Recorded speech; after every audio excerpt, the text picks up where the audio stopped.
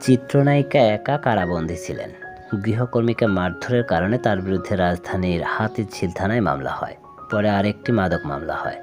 পরে জামিনে মুক্তি পেয়ে বেরিয়ে আসেন। দীর্ঘদিন অন্তরালে থাকার পর অভিনেত্রী ফিরেছেন অভিনয়ে। গত শুক্রবার রাজধানীর অদূরে গাজীপুরের হোতাপাড়ায় আশরাফুল আলম ওরফে হিরো আলমের প্রযোজনায় নতুন একটি চলচ্চিত্রে কাজ শুরু করেছেন। ছবির নাম নাম্বার ওয়ান হারামি। এই ছবিতে হিরো আলমের দুইটি নায়িকার একজন হচ্ছেন একা আর অন্যজন রিয়ামণি। কালের কণ্ঠকে বিষয়টি নিশ্চিত করে আশরাফুল আলম ওরফে হিরো আলম বলেন, আমি নতুন সিনেমা শুটিং শুরু করেছি। এই সিনেমায় আমার একজন নায়িকা হচ্ছেন একা আপু আর আরেকজন হচ্ছেন রিয়ামণি। আজকের গানের মাধ্যমে শুটিং শুরু হয়েছে।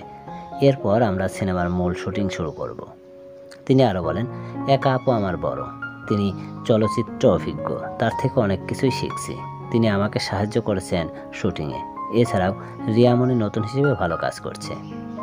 গত বছর নির্যাতনের অভিযোগে গৃহকর্মী হাজেরা বাদী হয়ে নারী ও শিশু নির্যাতন দমন আইনে একটি মামলা করেন। এছাড়া একার বাসা থেকে মাদক উদ্ধার হওয়ার ঘটনায় পুলিশ বাদী হয়ে আরেকটি মামলা করে। এক আগস্ট দুই মামলার রিমান্ড এবং জামিনের আবেদন নামঞ্জুর করে তাকে কারাগারে পাঠানো হয়। পরে জামিনে মুক্তি হন একা।